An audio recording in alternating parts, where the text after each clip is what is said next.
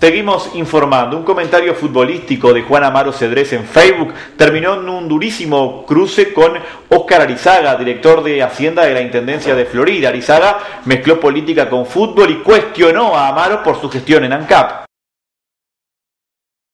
Lo que parecía un simple comentario deportivo en Facebook del exdiputado Juan Amaro Cedrés, referente departamental del Partido Colorado, desató un fuerte cruce político con el director de Hacienda de la Intendencia de Florida, el nacionalista Óscar Arizaga. Amaro, reconocido hincha de Peñarol, se descargó en las redes sociales contra el árbitro Andrés Cuña, que este sábado no pitó dos claros penales a favor de Peñarol en lo que terminó siendo dura derrota del Aurinegro, 4-1 a manos de Wanders. Amaro tituló, el árbitro Cuna fue el que perjudicó a Liverpool contra Nacional y siguió sus comentarios. El duro comentario en su muro de Facebook contra el árbitro Cuna desató varios comentarios, algunos a favor y otros en contra. No obstante, entre los comentarios apareció un inesperado texto de Oscar Arizaga, director de Hacienda de la Intendencia, hincha de Nacional, Arizaga aprovechó la oportunidad para cuestionar la gestión de Amaro como director de ANCAP en el pasado periodo de gobierno. El dirigente nacionalista de la agrupación Manuel Oribe mezcló fútbol con política y atacó directamente a Amaro Cedrés. Capaz, Juan, que el árbitro tuvo algún error, como los tuviste vos en ANCAP. El problema que el error tuyo lo pagamos todos los uruguayos, subrayó Arizaga. El escrito de Arizaga sorprendió como el inicial de Amaro por su investidura, pero especialmente porque desvió un tema futbolístico a lo político. ¿Cuánta ordinaria es la de Arizaga? Respondió rápidamente Amaro, recordando que pensar que le votamos el fideicomiso a cambio de nada y hoy me hace un agravio gratuito y de mala leche sobre mi gestión en ANCAP.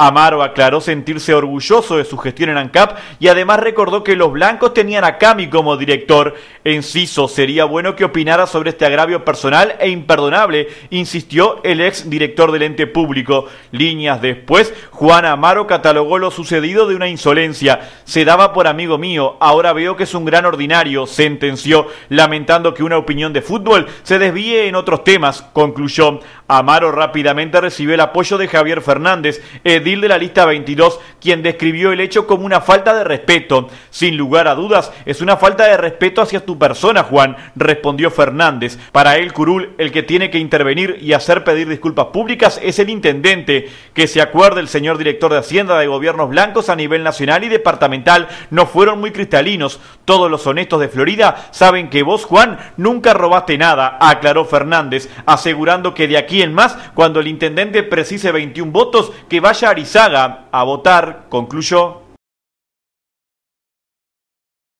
Amaro catalogó de bajo y ordinario lo dicho por Arizaga y pidió que el intendente no se hiciera el bobo y no mire para otro lado. Me parece que la actitud de este ciudadano es que no tiene jerarquía para ese cargo porque no se ha dado cuenta que cuando habla, habla desde el cargo. Este, y, bueno, ese es un, tema que yo no permito que el intendente se haga desentendido porque yo lo responsabilizo a él cuando un director hace un ataque a una gestión que fue generosa con el gobierno departamental de Florida y hablo generosa la gestión.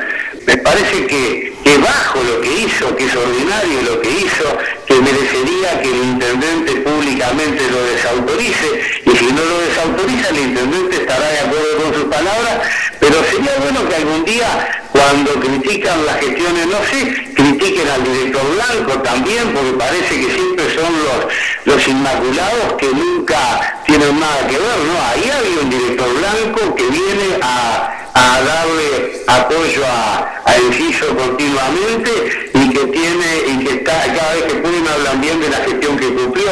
Bueno, me parece que, que la, la cuestión es, es clara, hay desde, desde, desde el Partido Nacional.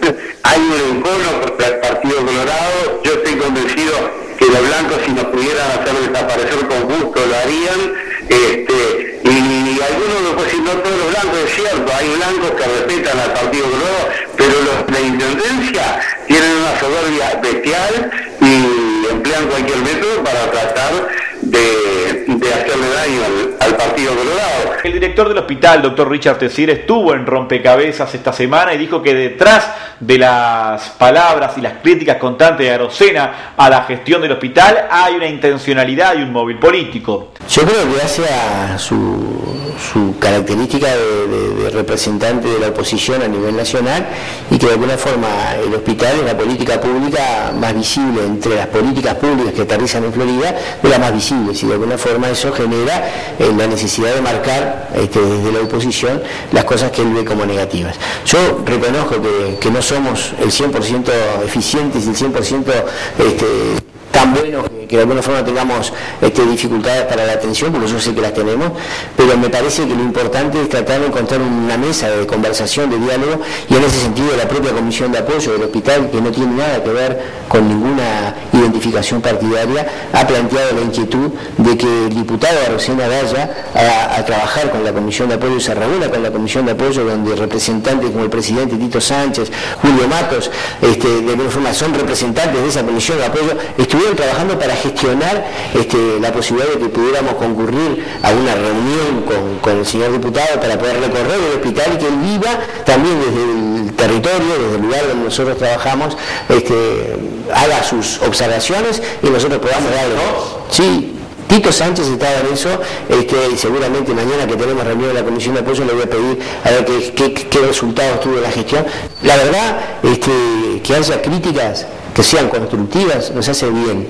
El tema es cuando las críticas generan un clima de, mirada negativa que muchas veces genera una incertidumbre en la asistencia de las personas, que no es la realidad que de alguna forma es la que nosotros recibimos todos los días. Bueno, ¿usted es un móvil político esto? De... Yo, yo creo que hay intencionalidades, pero digo, no, quiero atribuir este, eh, políticas partidarias porque me parece que, el hospital no puede identificarse con un, con, una, con un partido ni con un sector político.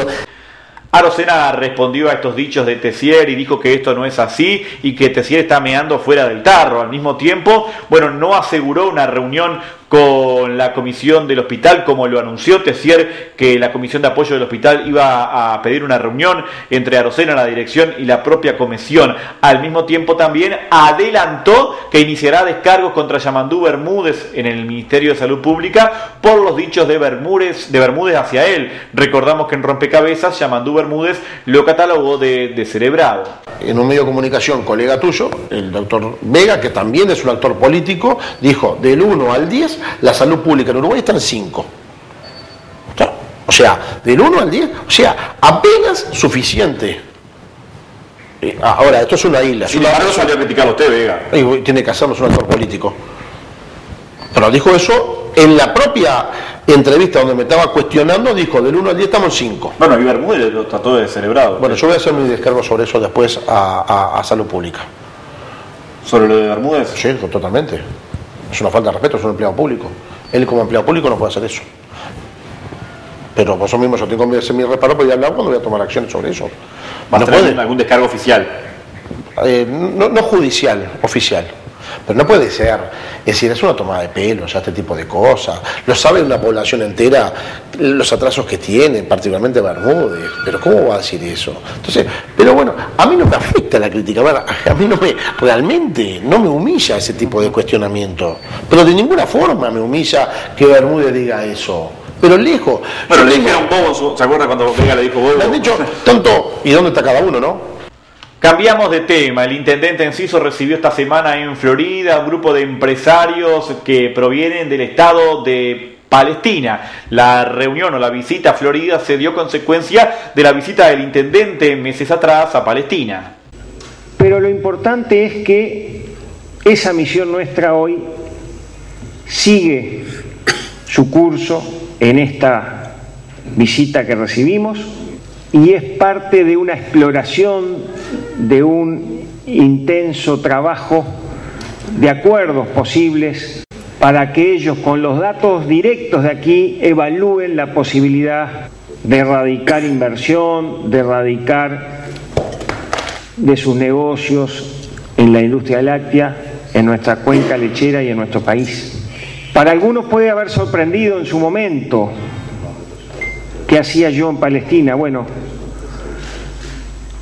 aparte de otras cuestiones que no vienen al caso, hoy uno de los motivos principales para el desarrollo también de Florida es esta visita que va en función de nuestra ida allá Y bueno, y creo que de aquí se abren oportunidades. Yo no voy a anunciar, porque no estoy en condiciones de aventurar ya eh, la concreción, pero sí lo que puedo decir es la voluntad de evaluar y generar eh, por parte de Hamoda Group una seria e interesante perspectiva de complementación, de trabajo y de radicación potencialmente en un futuro. Y concretamente estuvo el presidente de la industria láctea, quien bueno, marcó las intenciones de invertir en nuestro país y concretamente en nuestro departamento. وفعلا كرم الضيافة اللي شفناه وحسن المعاملة من الاستقبال والحفاوة اللي شفناها هي بتعبر عن كرم أصيل موجود بالشعب الأوروغواي وإحنا ان شاء الله سعداء جدا في بدء التعامل التجاري بيناتنا باذن الله. Por ese recibimiento caluroso nos da un empuje eh, para sentirnos bien. Eso nos hace satisfacción de que tenemos el, el ámbito y tenemos el ánimo de empezar un proceso de estudio y análisis para la posibilidad de las inversiones palestinas en Uruguay. طبعا حضورنا اليوم هو ثمرة زيارة عطوفة المحافظ لفلسطين. La visita nuestra aquí en Florida, en Uruguay, es el producto directo de la visita del señor intendente a Palestina. وتفاجأنا بأن وجود مناخ استثماري حقيقي من الأرض والأشخاص الموجودين هون. Y hemos observado eh, muchos terrenos de inversión, eh, todo sujeto a negociaciones y conversaciones y posibilidades que se puede dar. وإن شاء الله نأمل إذا القوانين تساعدنا بالشكل الصحيح نأمل بإقامة استثمارات ما يقارب ال 250 مليون دولار. En nuestra proposición es trabajar juntos en todos los niveles para estrechar en nuestras relaciones comerciales y de inversión. Estamos pensando de unas cifras muy altas de 250 millones de dólares en los rubros que pensamos invertir. La última sesión de la Junta Departamental de Florida arrojó varios puntos aprobados por unanimidad. Uno de ellos, bueno, nombrar con el nombre, valga el juego de palabras, de Cono Alfredo Brescia al Teatro de Verano y con el nombre de Juan Justo Amaro a la Rambla de Florida. La iniciativa fue de los ediles Oribe Jiménez y Pablo Lanz. Bueno, efectivamente, en la noche de hoy ya las comisiones respectivas dieron su voto conforme para homenajear, este, en definitiva, a dos exintendentes, en el primer caso a, a Cono Alfredo Brescia como, como hacedor de lo que es hoy nuestro Teatro de Verano. Y en el segundo caso, al ex intendente Juan Justo Amaro. Nosotros ahí fuimos quienes tuvimos la iniciativa. Hoy la Rambla de la Piedra Alta tiene nombre y efectivamente se llama Piedra Alta, pero entendíamos que era de justo reconocimiento en la zona de la Rambla colocar una, una placa para homenajear a ciudadanos que tuvieron la responsabilidad, y en este caso Juan Justo Amaro, de ser intendentes departamentales, pero con una visión amplia, una visión moderna y en definitiva una, una, visión este, también, ¿por qué no?, este, de, beneficiar a quienes menos tienen en el departamento de Florida. Va en los próximos, en los próximos días, se va a estar coordinando para colocar una placa en su nombre que dice el pueblo de Florida en reconocimiento a quien tuviera la iniciativa. Y nosotros somos testigos primeros de esa iniciativa de Juan Justo Amaro cuando permanentemente transitamos a su lado y sabemos bien de, ese convencimiento y ese trabajo que hizo permanentemente para que esa rambla que hoy allí todos los floridenses disfrutamos pueda de alguna forma llevar su nombre o tener una placa con su nombre por, por esa visión y ese empeño que puso en ese espacio para el departamento y para la ciudad de Florida. Además se aprobó una prohibición de lavar vehículos en las aguas del río Santa Lucía Chico a instancias del suplente de edil Alberto Lamaita y bueno, también una distinción honorífica a San Fernando de la Florida a instancias del edil Pablo Lanz del Partido Colorado. En ADO hubo fuertes cruces entre Juan Viera e Ismael Carabajal, consecuencia del pedido de informe realizado por el edil del Frente Amplio, Ramón Acosta, que molestó a varios directivos de ADEOM que bueno, enviaron una carta en rechazo a la opinión pública. Viera la afirmó, pero públicamente dijo que a él no le molestaba el pedido de informes de, de Acosta y que inclusive no tiene nada que eh, esconder, que tiene el mismo grado, que hace las horas extras por razón de servicio y que no tiene ningún problema al mostrar el recibo de sueldo. Carabajal, bueno, amenazó con renunciar el lunes en rompecabezas. Bueno, en la reunión del lunes a la noche tuvo la confianza del resto de la directiva y finalmente no renunció. Puse mi cargo a disposición para el compañero que viera que no, o sea, por lo cual este, eh, me encontraba en, en, lugar de presentar esa postura, decir que iba a dar un paso al, al costado, porque si, si no había este alguien o alguien que tuviera una desconformidad conmigo, uno que me lo que me lo dijeran. Eh, después de dialogar este, un largo rato sobre ese diversos temas, este por parte de los compañeros ahí este se me reiteró la confianza y, se me hizo entender que, que era necesario para poder seguir en, encauzando el tema del, del gremio. Bueno, te cuento, por ejemplo, una de las decisiones que salió ahí este, en esta reunión, eh, encauzar y encaminar este, una nota eh, a cada una de las bancadas eh, pidiendo ser recibidos eh, para tratar de diversos temas con, con dichas bancadas. O sea, esa nota estaría llegando al día de hoy a las diferentes bancadas y poder mantener un diálogo abierto y, y, de frente con, los diferentes ediles. O sea que están pidiendo reunión con todas las bancadas en la Junta Departamental, Ismael. En el día de hoy le estaremos cursando nota y, se las haremos llegar. ¿La idea cuál es del alcance de las reuniones? Y bueno, mantener un diálogo fluido y directo. Pausa, ya volvemos con más información.